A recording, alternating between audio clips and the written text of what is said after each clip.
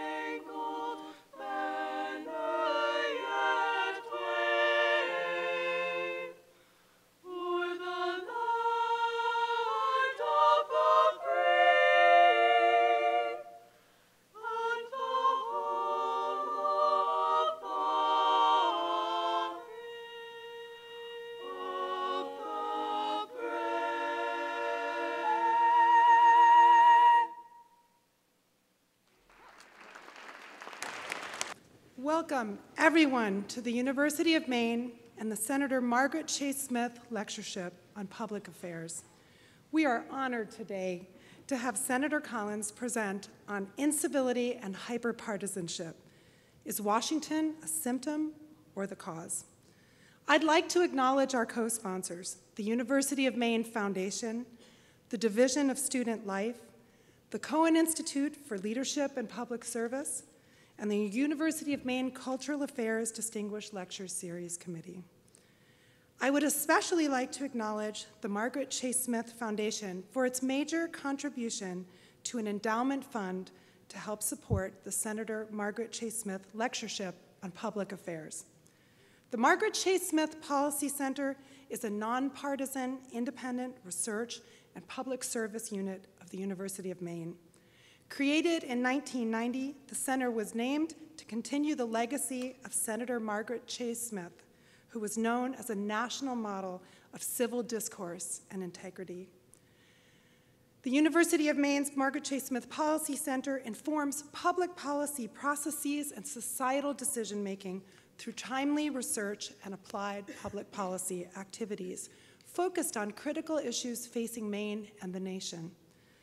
The Senator Margaret Chase Smith Lectureship on Public Affairs is an important part of what we do. Our first lectureship was Speaker Donna Shalala in 1988. Once again, welcome to the University of Maine.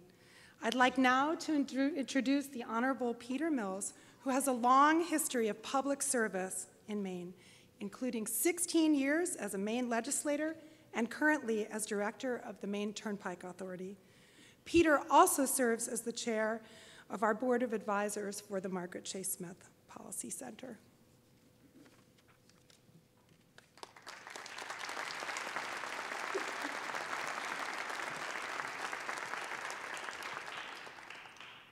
No meeting of this uh, sort should start without um, taking a moment to reflect on the presence of the rose here on the coffee table in memory of uh, Margaret Chase Smith. My earliest memories in politics go back as far as 1948 when uh, my father uh, escorted Uh, Senator Smith around in her first campaign for the Senate through Franklin County, and the senator agreed, volunteered, frankly, to sit in the back of the Chevrolet coupe that my father was driving because a five-year-old boy could not see anything from the rear.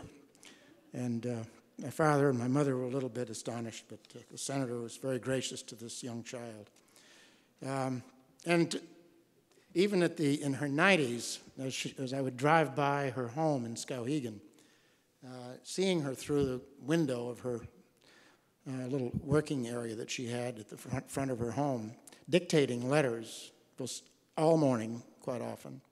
And I would walk in sometimes, and she would remember the names of all three of my children, whom she had only met once.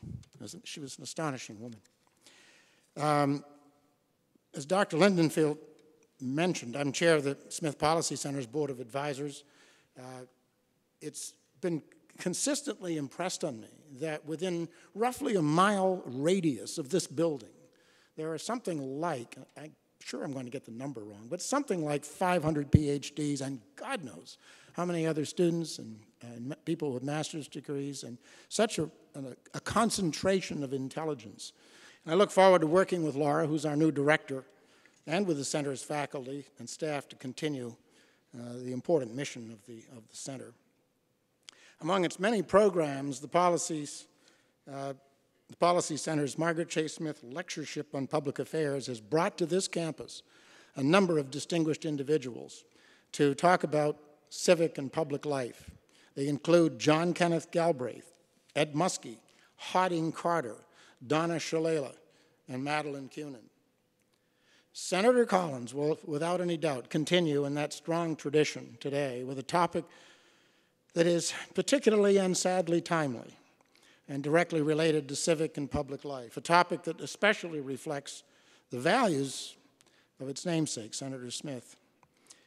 In order to welcome uh, the senator today, I'm very pleased to be able to introduce Dr. Susan Hunter, uh, president of the University of Maine, whose formal installation occurred just last Thursday but who came up through the ranks uh, and who has spent nearly three decades as a Maine faculty member, researcher, administrator. And I'm also very pleased to note that Dr. Hunter is the University of Maine's first woman president.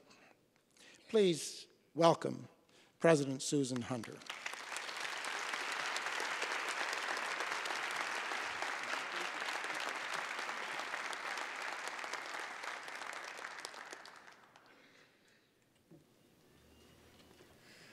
Well, good afternoon, everybody. I am very pleased that you have joined us here at the University of Maine to participate in the Senator Margaret Chase Smith Lectureship on Public Affairs. The Margaret Chase Smith Policy Center and this lectureship continue an important function of Maine's land-grant and sea-grant university, engaging the university and communities across Maine by promoting involvement in our governor, government and policy making and stimulating connections between our academic work and expertise and the work of government. Margaret Chase Smith was known for both her independence and her civility, and her influence in the state of Maine is still very strong. Margaret Chase Smith was the first woman elected to both houses of the U.S. Congress and served for 32 years. She was the first woman elected to the Senate in her own right and she held an all-time voting record in the Senate until 1981 with 2,941 consecutive roll call votes. We're one year past the 50th anniversary of Senator Smith's nomination for President of the United States at the Republican National Convention, the first woman to be so nominated. At UMaine, we appreciate such milestones because this year we're celebrating a major milestone, our 150th anniversary. Emblematic of the changes over that time, last week we celebrated Women in Leadership Week at UMaine, featuring a series of public events. Reflecting on these milestones in women's leadership, it is most appropriate for Senator Collins to be with us today for the Margaret Chase Smith Public Policy Lecture. Presidents get to do a number of wonderful things, and introducing today's speaker certainly counts as one of them. I've known Senator Collins for a number of years, and it is both a pleasure and an honor to have her join us on campus, campus to deliver this lecture. Senator Collins is serving her fourth term in the U.S. Senate, currently the longest serving senator to have never missed a roll call vote. No one works harder or more constantly to make Maine and the nation a better place. She is well known as a senator who is willing to work with members of both parties to reach consensus and has a reputation for bridging that divide and bringing people together. Senator Collins is also a strong supporter of the University of Maine. Her first official trip as a senator was to Professor Habib Dagher's Wood Composites Lab. Since then, she has helped secure research funding that, among other things, has resulted in more than 1,000 UMaine students working in the Advanced Structures and Composites Center. In addition, she has helped direct tens of millions of dollars for a variety of cutting-edge research projects at the university. Senator Collins chairs the Senate Special Committee on Aging. She is also a senior member of the Senate Appropriations Committee, the Senate Intelligence Committee, and the Senate Committee on Health, Education, Labor, and Pensions. One glance at the national news would lead you to the conclusion that the title of her talk, Incivility and Hyperpartisanship, is Washington a symptom or the cause, could not be more timely. So please join me in a warm UMaine welcome for Senator Susan Collins. Let me move all of this. Thank you. Thank you so much, President Hunter, and thank you all for such a warm welcome. I'm truly honored to give the Senator Margaret Chase Smith Lecture at a time when we're celebrating the University of Maine's 150th anniversary. And I couldn't help but think how delighted Senator Smith would be that I was just introduced by the university's first female president. And I also know that she would be so proud of the excellent job that President Hunter is doing. I also want to express my appreciation to the Margaret Chase Smith Center for all of its work and to its longtime supporter and advisor, Mert Henry, who worked for Margaret Chase Smith and has been an advisor to me to this day. People in our state and throughout the nation have made clear that they are fed up with the incivility and gridlock that have prevented congressional action on far too many of the serious problems facing our nation. But that divisiveness and animosity raise a larger, more fundamental question. Is the hyperpartisanship that grips Washington a symptom or the cause of the incivility that we see throughout our society? In asking this question, I'm reminded of the response that former Connecticut Senator Lowell Weicker gave to an unhappy constituent. When the constituent angrily denounced Senator Weicker and his colleagues, saying, You are all a bunch of liars, thieves, and womanizers, Senator Weicker calmly replied, Well, it is, after all, a representative form of government. the symptom or cause question may seem to be a variation on the famous chicken or egg dilemma that has puzzled philosophers and scientists from Aristotle to Stephen Hawking. When it comes to the role of civility in all aspects of life, we would do well to remember that we get a chicken by hatching the egg, not by smashing it. It is entirely reasonable to think that the poisonous atmosphere in Washington is both part symptom and part cause. Here's one way to look at it. If you have ever been between two mirrors that face each other, such as in a barber shop, you have seen the endless line of images fading into the distance. One reflection generates another, seemingly into infinity. In much the same way, incivility by political leaders sends a message to our society that such discourse is acceptable, while the increasing coarseness in our society is a green light to divisive politicians. Each reflects the other. One insult generates another ad infinitum and ad nauseum. Perhaps it is time that we stop focusing on the damaging reflections and turn the mirror on ourselves. Let me begin by setting the stage as I see it with a discussion of the arena of discourse with which I am most familiar the United States Senate. As our Constitution was being developed, legend tells us of a conversation between George Washington and Thomas Jefferson, in which our first president applied the metaphor of the cooling saucer to the Senate. He compared the House to the hot tea, reflecting the passions of the moment which was then poured into the cooling saucer of the Senate, a metaphor reflecting the Senate's more deliberative approach. The conversation may be apocryphal, but there is no doubt that the founders of our nation recognized the need for a legislative chamber in which the heat of the political passions of the day could cool.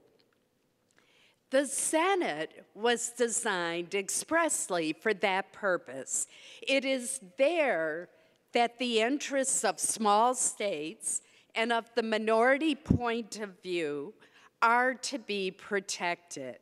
It is there that raw political power should give way to statesmanship. It is the ideal we have seen carried out by the great senators of the past, like Henry Clay, Daniel Webster, and Arthur Vandenberg. It is the ideal that we have embraced in Maine by sending thoughtful and respected leaders to Washington, like Margaret Chase Smith Ed Muskie, George Mitchell, Bill Cohen, and Olympia Snowe. To be sure, that ideal is not always met. In a 1935 radio broadcast, the humorist Will Rogers examined the courtliness of the Senate and found it at times to be less than sincere. The polite terms of address for the opposing party, such as my good friend from Maine or my distinguished colleague from Oregon, were sometimes delivered with such barely concealed dislike that Rogers suggested that it would have been more honest for members to address each other as the coyote from Maine or the polecat from Oregon. Now, just so that nobody gets the wrong idea, I do not believe that the other senator from Maine is a coyote. And Angus King is, in truth, my good friend. 80 years later, however, there is all too often no attempt whatsoever to conceal disdain. And increasingly, these tensions break down along party or philosophical lines. I'm not endorsing phony politeness for appearance's sake, but the Senate courtesies are meant to be external evidence of the Senate's abiding culture. It is a culture built upon a foundation of respect and cooperation that is meant to transcend partisanship. It is a culture in which legislative goals are reached through patience, persuasion, and perseverance, not through raw political power.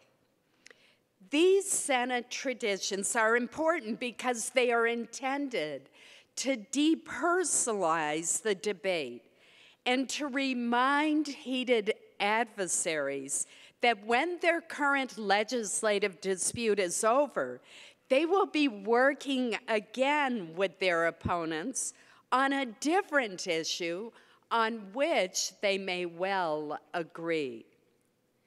Since I joined the Senate 18 years ago, I have witnessed a withering of this culture. Ideology and partisanship dictate far too much of our conduct. Obstructionism is often employed for its own sake. Base motives are impugned for reasonable policy differences, allowing legitimate differences to evolve into bitter personal disputes. That cooling saucer that Washington and Jefferson discussed more and more resembles an overheated skillet. I am uncertain who it was who first described politics as the art of compromise, but that maxim to which I have always subscribed seems woefully out of fashion today.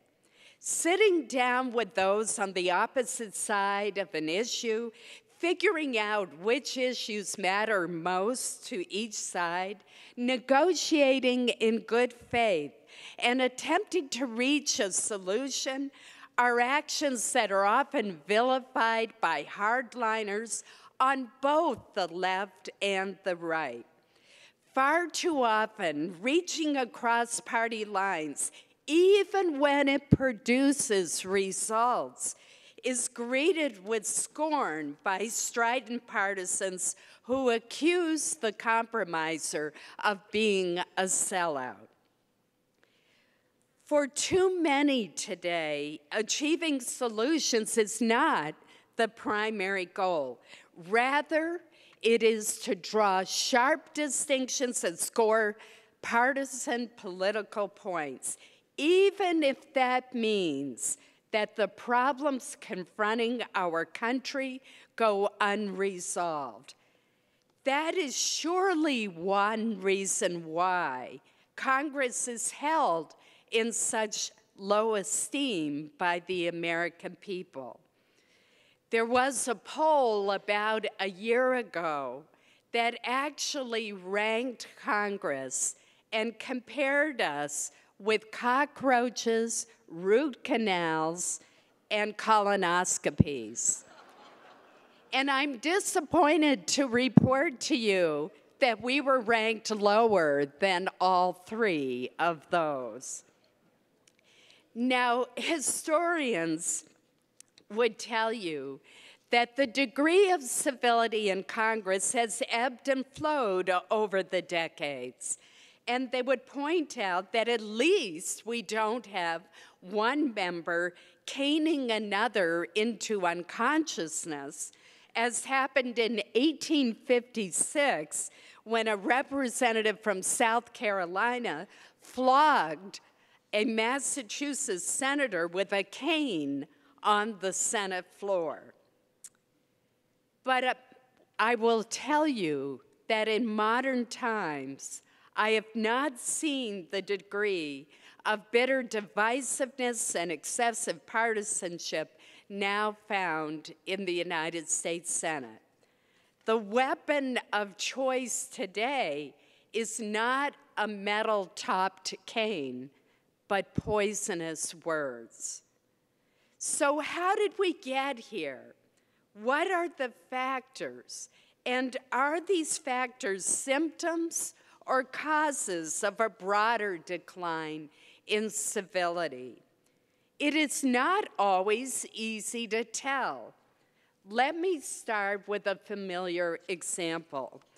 Resentments have built in the Senate due to rule changes that diminish the role of the minority party, which the Senate used to pride itself on protecting. In the Senate, we were always known as being the bastion of free and open debate, the world's most deliberative body. But increasingly in the last Congress, procedural tactics were used to present the minority from offering amendments to major or minor bills. That caused the minority to overuse the filibuster to stop bills to which it could not offer any amendments to revise it. That in turn led to the majority party breaking the Senate rules to change the Senate rules. No small irony there. In order to prevent the filibuster in certain circumstances. The minority, appropriately enough, cried foul. An election occurred, the minority became the majority, and guess what? The new majority then changed its mind and decided that it liked these new rules after all, now that they favor their side. Another negative development that has contributed to the decline in civility is campaigning against one's colleagues. When I was a freshman senator in 1997, Senator John Chafee of Rhode Island, as fine a gentleman as has ever graced the Senate chamber, advised me never to campaign against those with whom I served, a practice I immediately adopted. He told me the Senate's too small a place to campaign against those with whom you serve. It will poison your relationship with them and make it much harder to work together. Was he ever right? Back then, most senators followed the Chafee rule, but that soon changed. Now, many senators enthusiastically campaign against their colleagues from across the aisle. Some members even campaign against incumbent senators within their own caucus. I know how maddening this can be because it has happened to me. One example when I supported reasonable background checks for gun buyers to prevent criminals and individuals with severe mental illness from buying firearms, a Republican colleague helped to raise money for a far right group that produced negative television ads, you may remember them, in which I morphed into President Barack Obama. Now, think about that transformation for just a moment. By the way, I happened to be in the White House for a meeting shortly thereafter, and I showed the ad to the president, and he was quite amused by it. In fact, he remarked that he thought that my haircut looked pretty good on him. the problem is that personal attacks in campaigns have detrimental effects that last long after election day. Successful legislative partnerships depend on trust. It is difficult to consider someone a potential legislative partner when that senator has taken the extraordinary step of traveling to one's home state to criticize both you and your work. There is no shortage of party groups, special interest groups, and super PACs to do that kind of campaigning. There is no reason for senators to be doing it to each other. These and other bruising campaign tactics make it harder for the Senate and the country to transition from campaign mode to governing mode. The seemingly constant campaign cycle is aided and abetted by cable and radio shows whose ratings often depend on reaching small but highly partisan members of the electorate. Certain television shows will only invite those who will inflame the debate, those of us who suggest compromise or try to tone down the rhetoric simply won't be invited. The tactics of the campaigns and talk shows now leak into the halls of Congress, even during formal ceremonies. Consider the House member of my own party who interrupted President Obama's speech to a joint session of Congress a few years ago by yelling out, You lie! Or the House Democratic member whose sole contribution to the health care debate consisted of asserting that Republicans had a two word plan die quickly. Now, neither of these members enhanced what was a serious debate. More recently, the letter from most of my Senate Republican colleagues to the Ayatollahs in Iran was, in my view, unwise, inappropriate, and an ill advised break from Senate tradition. It was not, however, despite the cries of some, treasonous.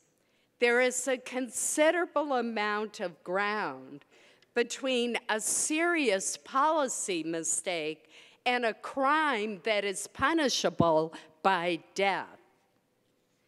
Which brings us to the other side of the equation the role that society plays in Washington's division and dysfunction. From how we recreate to what we think, and even to where we live. America appears to be pulling apart into factions we are isolating ourselves from those who aren't just like ourselves. 20 years ago, the social scientist Robert Putnam wrote an essay, later a best selling book, entitled Bowling Alone. In these works, Dr. Putnam surveyed the decline of what he termed social capital in the United States since 1950. Using bowling as an example, he found that the recreational leagues that used to bring people together from all walks of life had all but disappeared. Where once these leagues gave the bank president and the auto mechanic the teacher and the retiree the opportunity to get to know one another, Americans were now bowling in solitude and isolation. This stands in stark contrast to the observation made by the French social scientist Alexis de Tocqueville during his visit to America in the 1830s. He noted that a great strength of our young nation, especially here in New England, was the willingness of citizens, regardless of wealth, occupation, or level of education, to join in voluntary associations. From building schools to aiding the poor, shared goals were achieved. Today, however, polarization even shows up in where we choose to live through a phenomenon called residential sorting.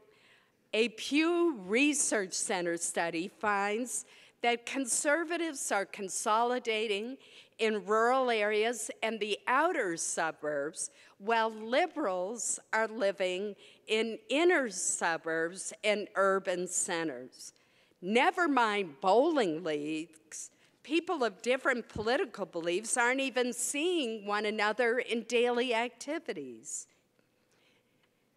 Residential sorting is exacerbated by the desire for political advantage, and this can take some strange shapes, literally. If we could have the first slide, please. Does anyone have any idea what this is? I will tell you that it's not a Rorschach test.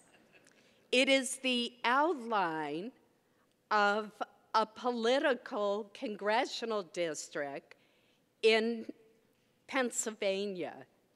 I can't get my little uh, light to work here, but you can see it in the dark green. So let's go to the next one. This is another district. The black is the district. You see the narrow line connecting these very two diverse and separated areas? That's because districts have to be contiguous. And this, so here it is in Illinois. There's the shocker. Let me show you another one. This looks like my idea of what the Aleutian Islands probably look like. But actually, it too is a congressional district. This one's in Florida. The redesign of congressional districts that is necessary after, after every census is increasingly partisan, with each party seeking to gerrymander districts to maximum advantage. With only two districts, Maine is relatively immune.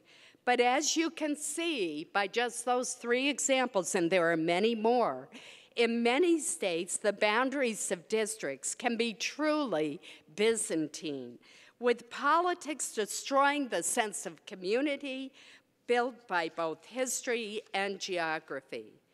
As a consequence of packing highly partisan voters into discrete districts, and both parties do it, moderates and independents are marginalized and their influence diminished. It's particularly alarming that the Pew study found that a growing number of Republicans and Democrats view each other not just as the opposition party, but as actually a threat to our nation's well being. The more politically engaged a person is, the more likely it is that he or she has adopted this apocalyptic view of people who could be neighbors, soccer coaches, school board members, people they would see if only they lived anywhere near them. It seems that we need to revise the old saying that familiarity breeds contempt, as the evidence mounts that unfamiliarity is the real culprit. The tendency to live with people who think just as we do is an example of Washington reflecting society, as both the Republican and Democratic caucuses have less and less to do with each other. This exacerbates the incivility problem because, as one of my colleagues observed to me recently, it's very difficult to hate someone that you know. Something as simple as sharing a meal together can help build these relationships.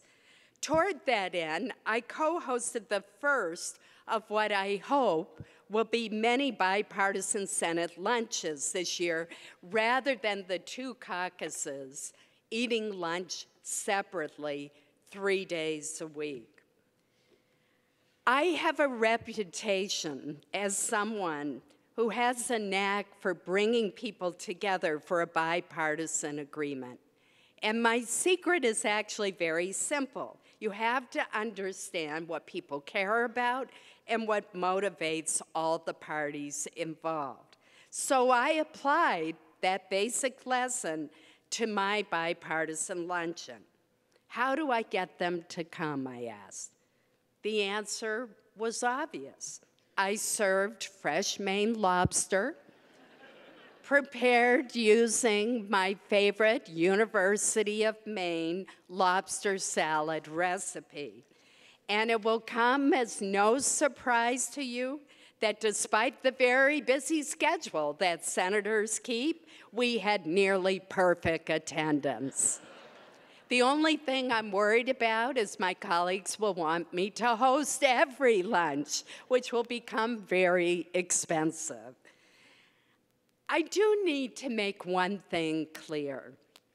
Civility does not require us to stifle our disagreements. We still can and should vigorously debate issues and even tell unpleasant truths. Otherwise, we would be left with nothing more than polite but meaningless discourse devoid of passion and principle. The point is that there is a right way and a wrong way to have these vigorous policy debates and disagreements. A famous example from history illustrates my point. The great leader we honor today provided a shining example of how a vigorous discussion of a challenging issue should be conducted and her foil in this story is a perfect example of how such a discussion should not be undertaken. When Senator Margaret Chase Smith went to the Senate floor on June 1st, 1950, to deliver her famous Declaration of Conscience, she did so not to demonize Wisconsin Senator Joseph McCarthy as a person, as tempting as that probably was, but instead to denounce his actions. She certainly gave him great offense, but she spoke the truth about his tactics of ruining reputations, crushing free speech, and smearing his opponents.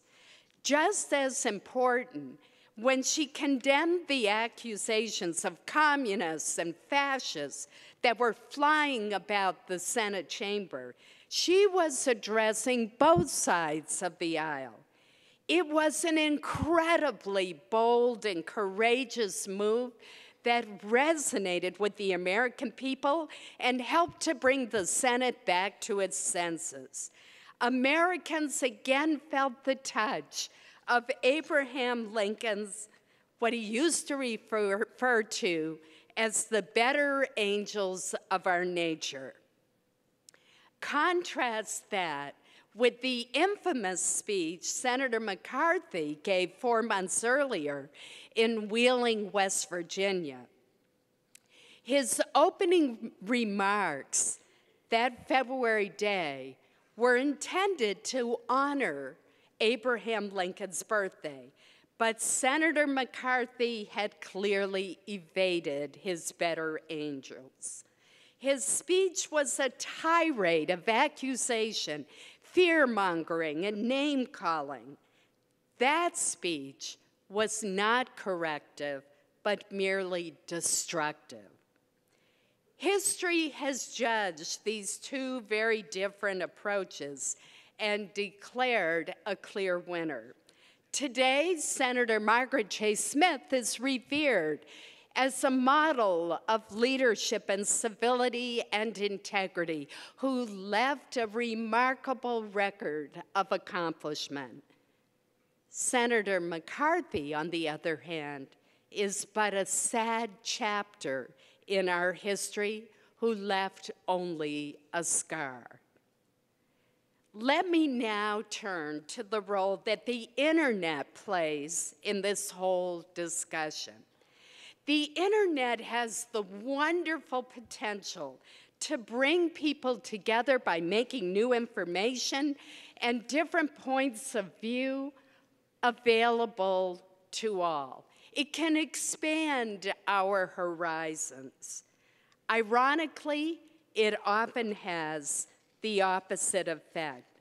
Studies by the Pew Research Center have found that the internet is increasingly displacing face to face contact, and that websites devoted to political and social issues increasingly are tending to the extremes, where alternative viewpoints are either ignored or misrepresented or ridiculed. The divisiveness of social media is fostered by the prevalence of anonymous commentators who are shielded from any repercussions to their ugly and false statements. Personally, I would I'll never understand why anyone would care what Mad Dog 38 or Hippie Gal thinks about a particular issue, but that is the trend. I also don't understand why, if you write a letter to the editor of a newspaper, you're called up to verify that you wrote it personally and that it is your name that is on the letter. But if you do an internet comment, it's published by the paper under a pseudonym with no verification, and it's totally anonymous. I dare say, and know from personal experience, that people will say horrendous things using social media that they would never say to you face to face. When it happens to me, I always try to think of the person as being in his underwear, living in his, pace, his parents' basement with nothing else to take up his time.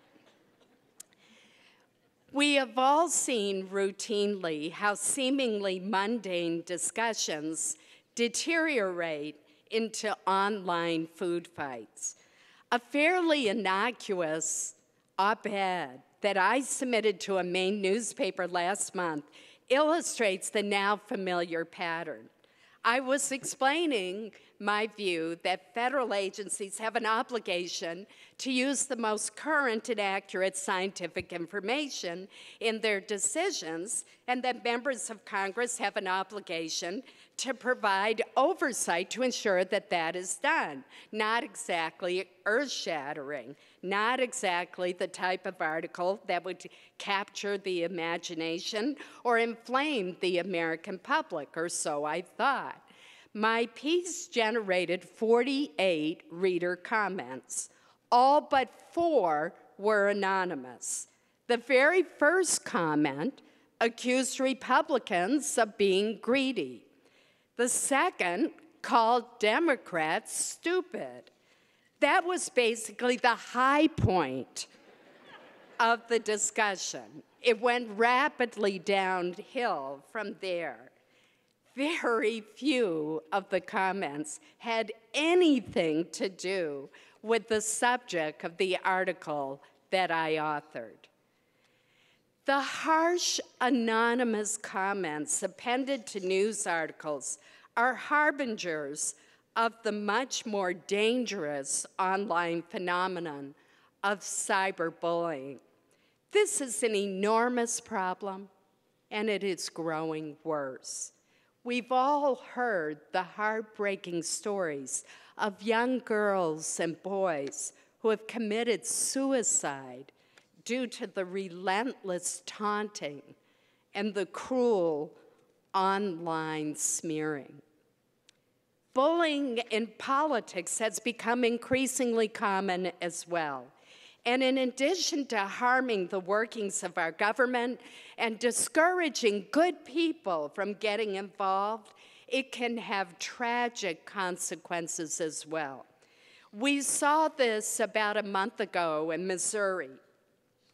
Tom Schweich was the popular and effective state auditor.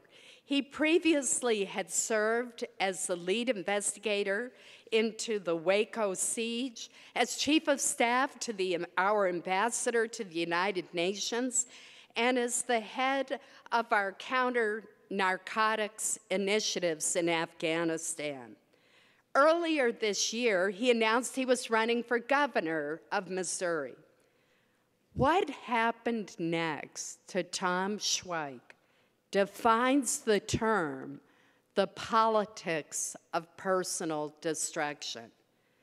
First, he was attacked by an anonymously funded radio ad that, among other things, mocked his slight physical stature and called him a little bug that should be squashed.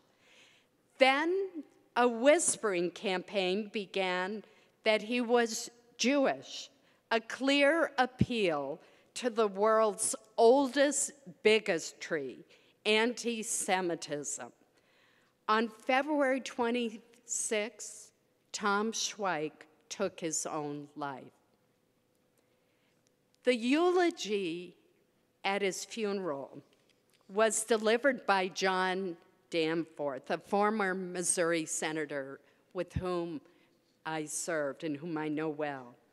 Senator Danforth's words were filled with admiration for his friend and of heartfelt condolences for Mr. Schweich's wife and children.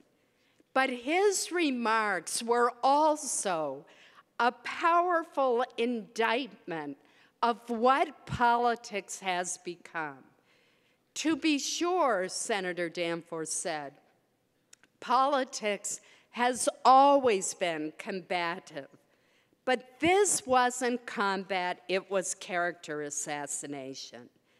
To those who said that Mr. Schweich should have been less sensitive, that he should have been tougher, that he should have been able to take the attacks in stride, Senator Danforth answered that such a view blames the victim and, quote, creates a new normal where politics is only for the tough, the crude, and the calloused, end quote. From the pulpit, Senator Danforth asked this crucial question If this is what politics has become, what decent person would want to get into it? And he posed this challenge not just to the mourners, but to each and every American. He said, It is now our duty, yours and mine, to turn politics into something much better than its now so miserable state. Whether Washington leads the nation in incivility or merely reflects our society, we each can play an important role in elevating the level of discourse in our own homes, in our communities, in right here on this campus, in, and in Washington. In Washington, we who represent the people of this great nation must put progress over partisanship, statesmanship over stridency, and compromise over conflict. That would produce a very different legislative climate, one in which the object is to solve problems, not just to score political points. If I am correct that a return to civility and a spirit of compromise must be driven by concerned citizens, then you will have to lead the way. That means working in your own community for a renewed social climate characterized by civility and respect for differing viewpoints. The challenge we face today was recognized by Senator Margaret Chase Smith in her Declaration of Conscience 65 years ago. While she avidly supported her Republican Party, she did not want it to ride to political victory on the four horsemen of calumny fear, ignorance, bigotry, and smear. Let's put those four out to pasture and saddle up one called civility. We might be surprised just how far it takes us. Thank you.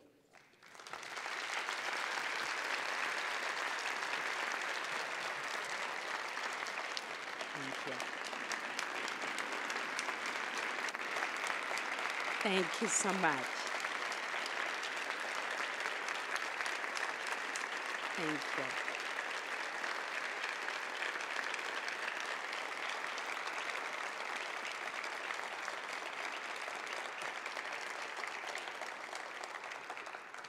Thank you so much. And now we're going to turn to questions. And I think I'm going to get mic'd.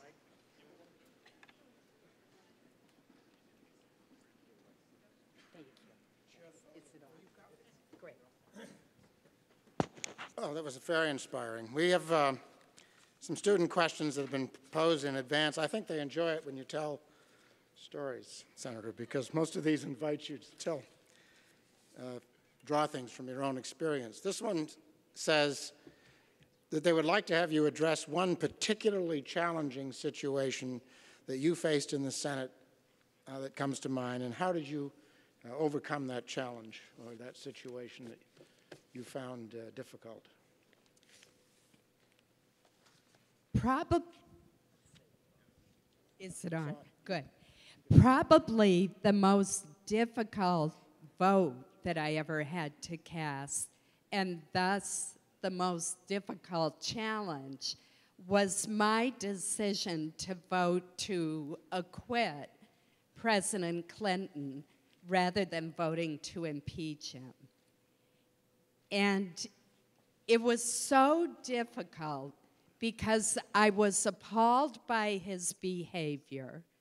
I felt that he did engage in a cover up, that he encouraged others to lie for him. But it did not reach the standard in the Constitution of high crimes and misdemeanor. And I had to put aside my personal anger at President Clinton and instead remember what my proper role as a senator was. And I had to apply the constitutional standard and realize that there were not grounds to overturn an election. And that was difficult because it's always hard to put aside your personal feelings and do what was right. I also knew that there were many, many in my party back here in Maine and also in Washington who were going to be furious at me for voting to acquit him. But in the end, I knew that I had a higher duty, and that was to follow the constitutional standard. And that's what I did. But it was very tough, very tough, especially because back then it was 1997, I, er, I think, or 19, it was around that time. I guess it wasn't 97, maybe it was 99. But I was relatively new, I was a very new senator. And to be faced with a decision of that magnitude that early in my time in the Senate was very difficult. The other question they had was in relation to the two-party system, and they think they would like to have you address um, what is it that's most challenging about our two-party system, and do you think it has certain strengths that need to be acknowledged? I do believe in the party system. I think that it gives people the opportunity to organize around core values and to make their voices heard. So I think that um, having political parties is a good thing. I think what has happened, however, is that the middle has shrunk in the Senate in both parties. When I uh, worked for Bill Cohen many years ago, the center was far bigger. There were far more conservative Democrats and there were far more moderate Republicans. And they could pull the extremes of both sides together and we would get more done. I think oftentimes the best solution happens to be one that is informed by the viewpoints of both parties, but tends to be more in the center. I think that that's not just an indication of compromise, I think it leads to better laws in many cases. What has happened because of those gerrymandered districts that I showed you is each party is trying to carve out congressional districts that makes it safe for the Democrats on one side or the Republicans on another. And that means that the most partisan of party voters are the ones who tend to vote in primaries, and thus we see people who tend to the far left or the far right are more likely to win a primary than someone who is more in the middle. And it's ironic because I believe that most Americans tend to be more in the middle. So I do think the parties play an important role, but I think those who are in the middle need to get more engaged in party politics and in voting in primaries. Amen.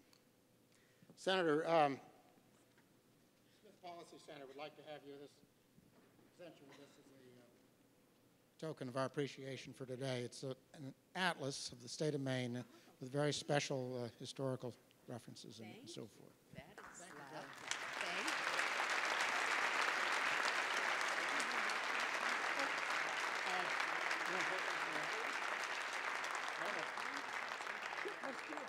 Let's do that. We have a, this is off script, which is so like the senator. Uh, but is there anyone from the audience who would like to address a question to the senator? Ah, yes. Um, I'm going to repeat the question so you can all hear it.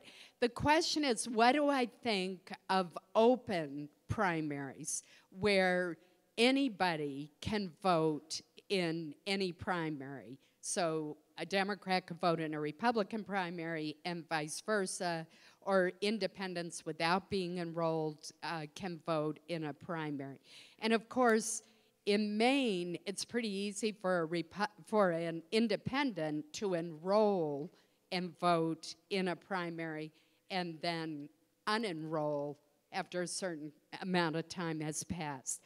I have reservations about open primaries, although they are being tried in some states, and I'm following that very closely. And here's why I think what happens is they're manipulated.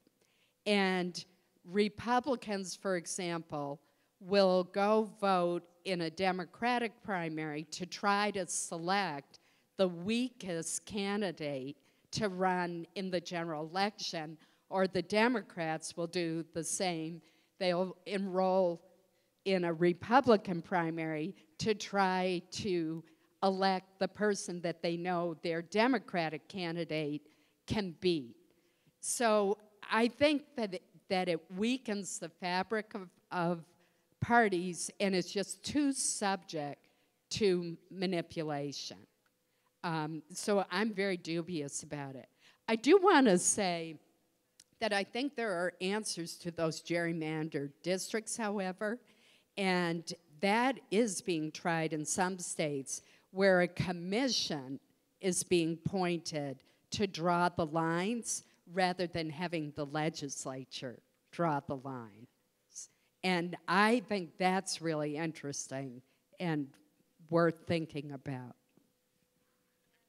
Another question? Yes.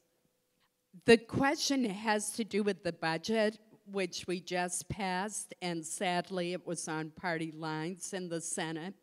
And the questioner works for an anti poverty group and it's expressed concerns about um, the cuts that potentially, and I say potentially because the budget is just a blueprint, it doesn't actually make cuts.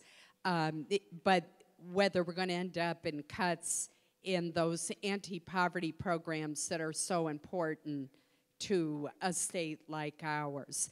Um, the budget that passed is not one that I would have written if I'd been in charge of the budget. I'm not on the budget committee. I think it's unfortunate that it was a partisan vote on the budget. We voted till 4 a.m. in the morning, literally, and I had many amendments passed. And one of those amendments I want to mention to you has to do with making sure that there's ample funding for Pell Grants and that there could be year round Pell Grants so that if you want to go to school in the summer so that you can finish your education more quickly, you would have that opportunity. And I'm pleased to say that my amendment, which is guidance, but important guidance, passed because Pell Grants go to our neediest students. The House version of the budget caps Pell Grants. I do not support that. It would not allow them to be adjusted uh, for cost of living, and um, neither the House nor the Senate version would allow a year round Pell Grant, which I think would be a great innovation that we should, that occurred years ago, and I think we should bring it back. So that's an example of where I took action to try to protect a program that's really important to this state. I've seen the difference Pell Grants have made on my own staff, where I have at least two students, uh, two staffers who wouldn't have been able to get an education without Pell Grants. I believe that there'll be other changes made, but here's what we need to do. We do need to acknowledge that we have an $18 trillion debt. That is the highest it's ever been it's not sustainable. And when interest rates go up, the, the payment on interest, the interest payment on our debt is going to exceed the budget of everything except Social Security, Medicare, and Medicaid. It's going to exceed what we spend on education, defense, transportation, biomedical research, all those things put together. So we do have to deal with our debt in part to protect those programs that we care so much about. But I think we need to have a much broader approach to the budget. And I think the president needs to step up and lead in this area, which he has been very reluctant to do. And my party also needs to step up. I think the one encouraging amendment that was passed was the very last one from, and it was a bipartisan amendment offered by Senator Tim Kaine of Virginia. And it called for us to look at every aspect of the budget, to look at such issues as means testing Medicare so that wealthier individuals pay a higher premium, very controversial. Um, to look at tax expenditures, I think we should do tax reform, and we can't put that off the table. And to look at the entire budget. And that's what we need to do. Uh, and the president, I've talked to the president three times personally about this, and I've urged him to go on nationwide television and explain just how dire the budget situation is and the choices that we've got to make. Because I'll tell you, the choices are really tough ones, no matter what. But the further we put them off, the more difficult they become to make. And so far, he hasn't chosen to take my advice on that issue, but I still think that is what needs to be done. And then we need to get people together from both parties in the White House and really tackle what is a huge problem for our country that keeps getting kicked down the road. So, thank you. Thank you, everybody. Thank you.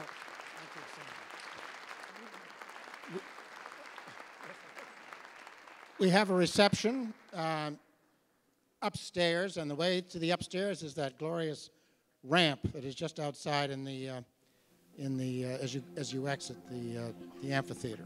And thank you all for coming. We very much appreciate the senators uh, coming here to speak to us.